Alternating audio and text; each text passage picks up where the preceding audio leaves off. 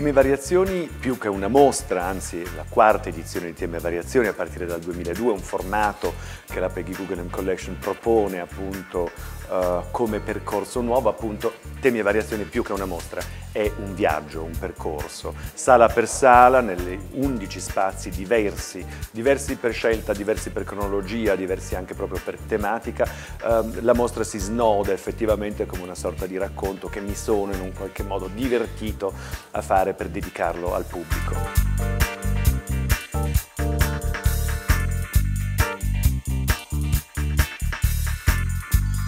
Il titolo è Temi e variazioni, l'impero della luce e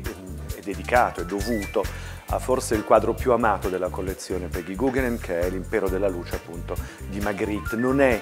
all'inizio della mostra, ma è assolutamente il perno, io direi quasi il gomito di questa articolazione espositiva ed è quindi arriva dopo un primo percorso, arriva dopo quattro sale.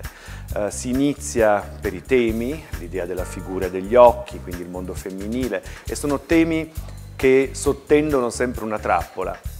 Temi e variazioni quindi è un tema, l'idea di un soggetto, è il caso quindi della figura straordinaria della giovane ragazza coricata con l'album di Degas, ma anche eh, l'idea di un dialogo eh, parasintattico al di fuori di ogni cronologia. Quindi Degas, su richiesta del curatore agli artisti, in questo caso Kiki Smith, dialoga con un'opera scelta dagli artisti o addirittura nella contemporaneità eseguita dagli artisti governa, anzi guida il visitatore con il suo occhio, con la sua presenza, in questo caso anche molto forte nella prima sala eh, in persona, Peggy Guggenheim, quindi fotografata da André Kertész, specchiata in uno specchio concavo, eh, quindi in, introduce questo tema dell'occhio. Appunto Temi e variazioni è un groviglio, è una sorta di gradum di conoscenza, ma soprattutto Temi e variazioni è un divertimento attraverso le interpretazioni di un soggetto, quindi uh, Matisse con Pont Saint-Michel del 1903 dialoga in un modo serrato, fortissimo, apparentemente uh, solo per soggetto all'inizio con Gabriele Basilico, uh, i Becker quindi con Sironi e devo dire l'idea spaziale, marziana di Ruff con queste foto della, eh, così, di una sonda che fotografa gli anelli di Saturno dialoga con la città intera di Max Ernst.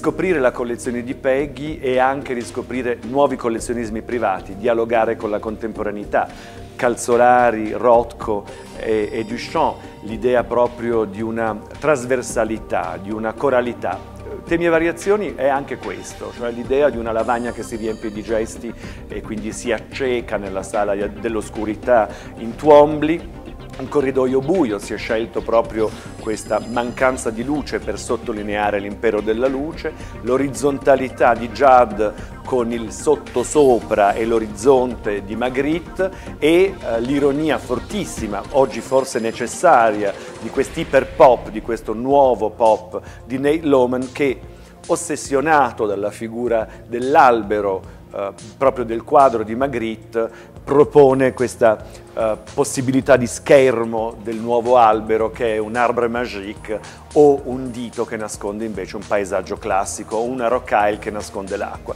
Quindi si continua nello spazio e nella dimensione, il ribaltamento dell'immagine della luce con Capur, Fontana e via via con l'idea proprio di pittura, quindi ancora Apollo che poi una sorta di nuovo Eros, quindi il sogno, l'inconscio, il subconscio con Dalì, Alsman e Uklansky, quindi l'idea ancora della contemporaneità che si interfaccia con il classicismo e la natura come mimesi.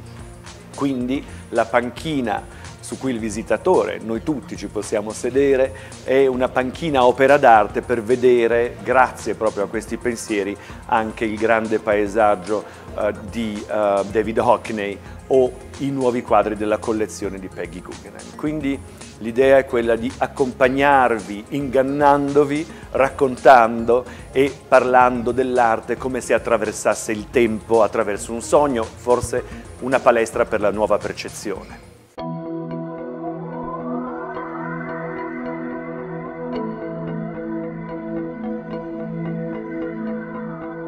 Temi e variazioni si completa, non voglio dire si comporta o si conclude, ma Temi e variazioni si completa con un omaggio a Fausto Melotti.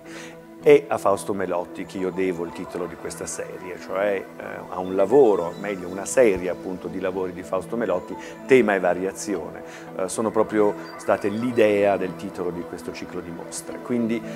fare un omaggio a Melotti in un momento come questo, in un momento in cui l'arte italiana del dopoguerra è riscoperta internazionalmente, vuol dire non solo fare un omaggio a uno degli artisti più alti eh, del dopoguerra, del secondo dopoguerra italiano, ma anche muoverlo e presentarlo attraverso